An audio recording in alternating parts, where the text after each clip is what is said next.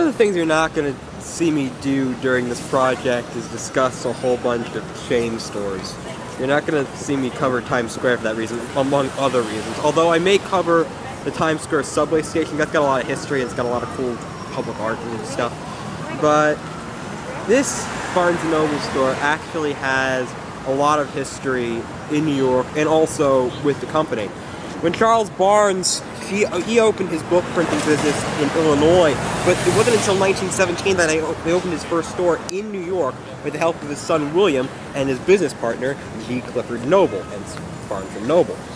The store was on 15th between 5th and 6th, but in 1932 the store moved right behind me to 5th and 18th. This store is the historic flagship of Barnes & Noble, and while the store on 16th, north of Union Square, is the larger and frankly more business-friendly establishment and has more events, this store right here is part of New York history.